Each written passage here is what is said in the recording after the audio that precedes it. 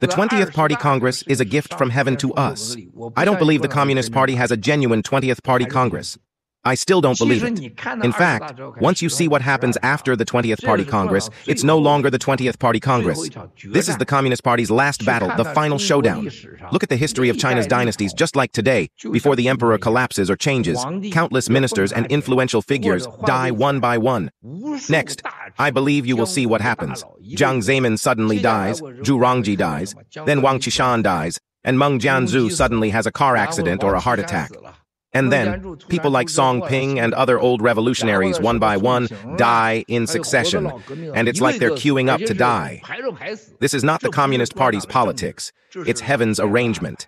It will definitely happen, and you will see it very soon.